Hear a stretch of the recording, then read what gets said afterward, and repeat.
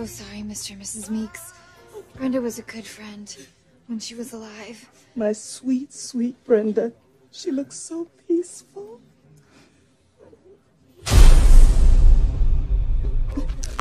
If only God had taken us instead of our daughter.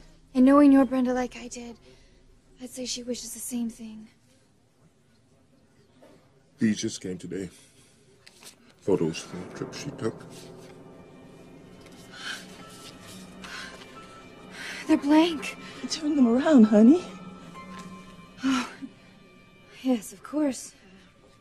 Who's this? That's Ralph. He's right over there.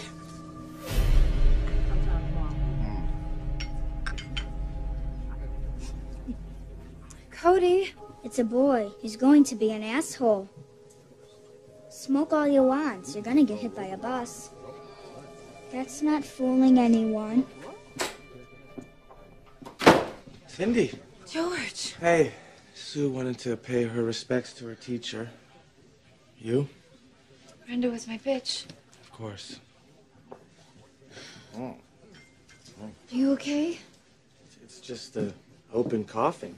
Can't believe they just leave it out here like this. George, it's awake. Awake? Brenda, it's George, a miracle! I thought you were dead! Sue, your teacher's alive! Hello? What did he say? No! I got to save her! He's alive!